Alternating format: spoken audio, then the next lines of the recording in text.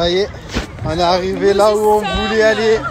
On est trop content. Je vous promets que ça va aller trop le coup de sortir de l'aéroport, de pas attendre à l'intérieur. Waouh, regardez-moi ça, Santa Monica. Magnifique. Et nous, le restaurant en bas, c'est là-bas où c'est éclairé en rouge, Booba Gump. Je sais pas si vous connaissez ou pas Booba Gump, c'est le fameux. Euh, si vous avez vu le film Forrest Gump, Voilà, les Ça va crevettes parler. Booba.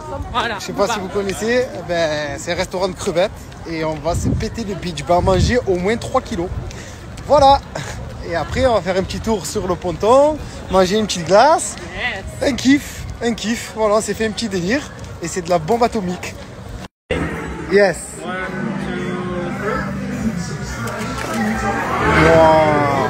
Thank you, bro. Très régal. Moi, je me suis pris des crevettes piquantes comme ça. Une salade César avec les crevettes.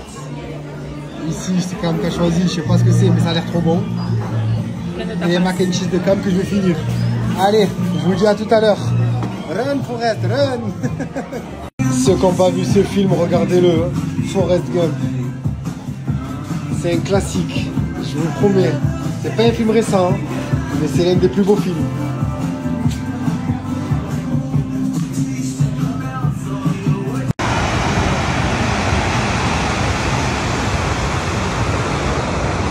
Quand tu es en galère d'adaptateur, j'ai marché je sais pas combien de minutes et en fait je suis tombé sur la boutique 7-Eleven.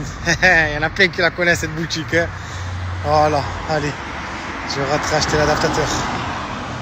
Ouf Sinon on est en galère la soeur. hein.